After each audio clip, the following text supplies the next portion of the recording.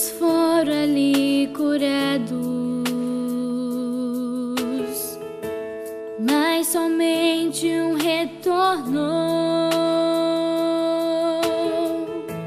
para dizer muito obrigado.